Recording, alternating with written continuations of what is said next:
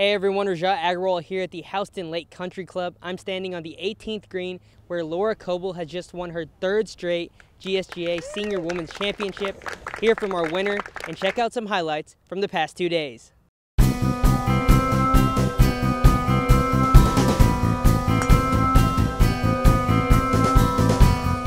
It's hard to believe that this is the third year I've been a senior, so wow, time's going by fast, but uh, but I've enjoyed it. I really have.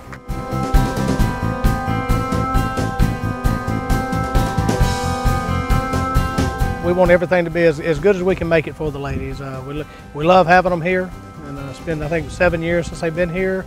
Uh, got them back this year, and uh, I hope everybody has a lot of fun here. You just really have to plod around this golf course well and place your ball, so I didn't hurt myself too bad. I wasn't as sharp as I'd like to be, but I didn't hurt myself too bad.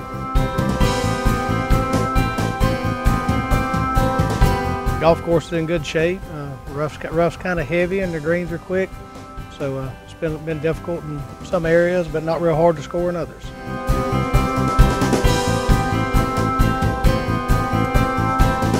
You get nervous because you, you don't know how everybody stands and, and uh, you're just trying to finish it off. So um, very fortunate and, and it was a lot of fun to, to be here again. Thank you to the Houston Lake Country Club and to all the players who competed in the 2016 GSGA Senior Women's Championship.